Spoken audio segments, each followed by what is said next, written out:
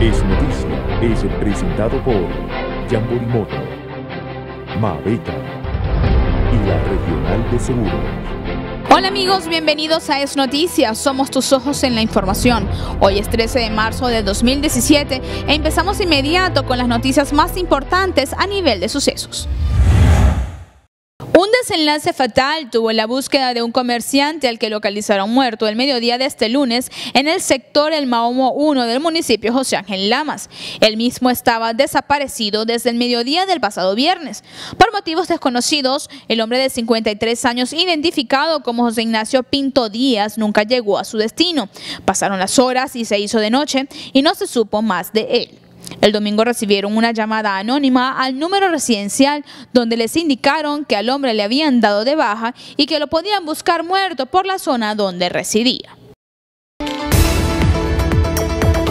Desde hace aproximadamente dos meses, los vecinos del sector San Rafael se vieron afectados por el robo de 20 bombonas de gas. El señor Orlando Ponce, quien desde su casa les presta el servicio a los vecinos de esta comunidad con el expendido de este servicio, declaró que el distribuidor principal retiró las bombonas y hasta la fecha no se les ha devuelto, afectando a más de 15 familias. Estamos ahorita en el problema con, con la gente del gas, con el señor eh, Néstor aunque ya el hombre ha venido y quedó en responsabilizarse, pero quiere que se le pague un dinero extra de 150 mil bolívares. Y la verdad que, no es el negocio, pues, porque las, bombonas tienen que traer las, las 20 completas porque ese es de la comunidad.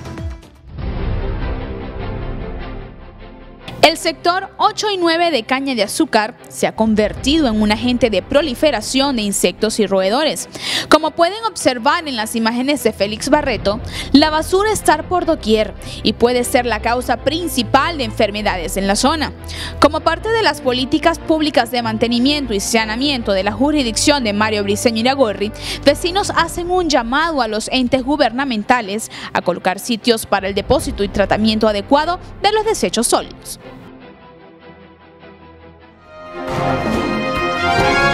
Ante la falta de harina de trigo, panaderías de la entidad han tenido que regular la venta de pan, lo que ocasiona largas colas a las afueras de estos establecimientos.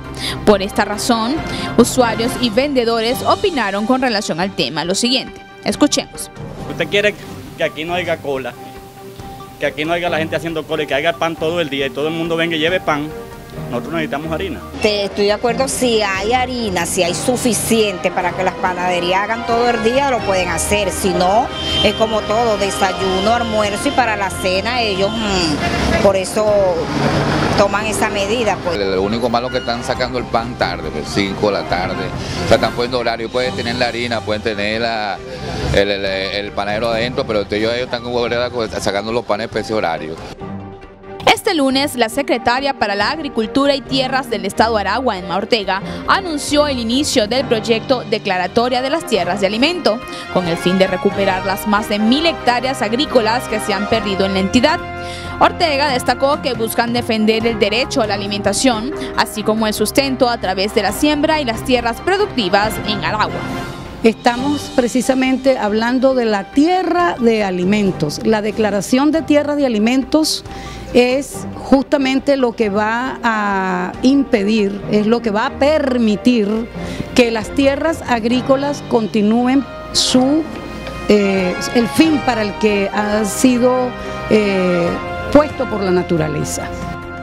Y el secretario del partido Piedra en Aragua, Johnny Llanes, indicó estar de acuerdo con los CLAP, sin embargo exhortó a mejorar fallas en el sistema de distribución de los mismos. Por otra parte, Llanes exclamó que las panaderías que mantengan largas colas para la venta de pan deben ser expropiadas y administradas por el Poder Popular. Ahora sí que me gustaría hacerle un llamado a los camaradas que dirigen el tema de la alimentación en Aragua para que le metamos la lupa al tema de la distribución para que le metamos la lupa al tema de los precios. Por un lado, el camarada Frei Bernal dice que la caja vale 10 mil bolívares y vemos que algunos distribuidores del, del, del clan vienen cobrando 300, 400 y hasta 500 bolívares Este lunes inició la campaña Madres contra el Hambre contra Loras del Futuro, la cual se crea con el fin de luchar contra la crisis alimentaria que se vive actualmente en el país. La misma nace con las denuncias que vienen haciendo las ONG donde más de cuatro niños por cada familia no ingiere los nutrientes necesarios para su desarrollo. La misma está precedida desde la Asamblea Nacional por la diputada Karin Saranova. Aquí hacemos un llamado a todas las madres, a todos los padres, a las abuelas, a las tías, a todo aquel que tenga una responsabilidad de crianza, aquel que tenga una responsabilidad de formar, de alimentar, de cuidar los derechos fundamentales de nuestros niños, niñas y adolescentes e invitamos a que sean parte de este programa. A causa de negligencia médica, la señora Beatriz Elena Barcena falleció a la edad de 90 años. Hijos de la hoy difunta denunciaron que los médicos y enfermeras que atendieron a su madre le suministraron medicamentos no adecuados para su avanzada edad, ocasionando que los mismos provocaran una reacción en su cuerpo y muriera esta por un paro respiratorio. En tal sentido, exigen al gobierno nacional intervenga dicho centro clínico. Llega un residente, da dos días después de la operación y le coloca un día cepam a una anciana de 90 años, cuando no se debe hacer. Eh, llaman al internista, el doctor, al intensivista, José Luque, y le, ha colocado medicamentos tampoco acorde a su edad, de alto impacto, y le dañaron los riñones. Ella muere eh, de un paro respiratorio a través de toda la negligencia médica que se cometió en la clínica Lugo. Le un llamado al gobierno nacional, al presidente de la República eh, Bolivariana de Venezuela, al vicepresidente El Aizami, a la ministra de Salud, a todos los que se aboquen al Ministerio de Salud, este, de que vengan y intervengan en la clínica Lugo de inmediato. Trabajo durante 23 años en la institución Clínica Lugo. El director médico tanto el doctor Palomino me llamaron para una reunión porque ellos quieren votarme de la institución. ¿Por qué? Porque estoy, mi familia está denunciando algo que fue verdad. Si hay enfermedades nasoconianas dentro de la institución, porque ahora sí lo voy a decir para que me voten. Y ahora sí me quieren votar, que me voten. Pero yo sí le voy a dar justicia a mi madre. Ronda deportiva tenemos que los Toros de Aragua realizaron la mañana de este lunes una jornada de entrenamiento en la piscina del Hotel Maracay como punto clave para continuar con la preparación física de los atletas asados. Pienso que, tengo el material como para buscar la primera barrida de la temporada. Voy con mucha fuerza ese primer juego de la serie ya y si logro la victoria en, Caracas no, no debería haber eh, objeción alguna de conseguir victoria aquí en Maracay también. El delantero del Atlético de Madrid, Fernando Torres, volvió a entrenar este lunes con el equipo, diez días después de sufrir un traumatismo cráneoencefálico en un partido de liga contra el Deportivo de La Coruña el 2 de marzo.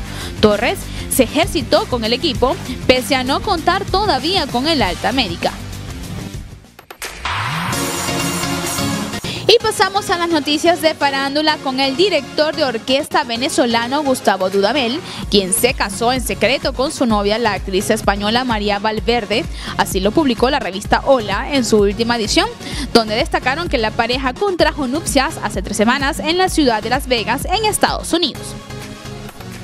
Y en más notas tenemos que la séptima temporada de Games of Thrones será estrenada el próximo 16 de julio y esta contará con 7 capítulos en lugar de los habituales 10.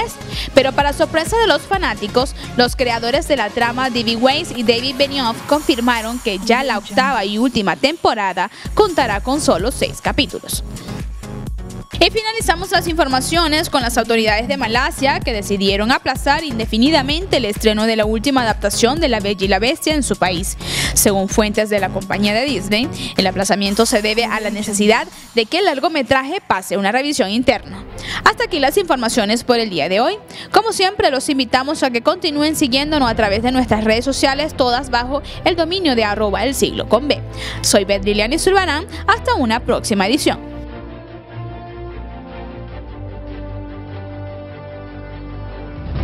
Es Noticia fue presentado por Jamborimoto, Mabeca y la Regional de Seguros.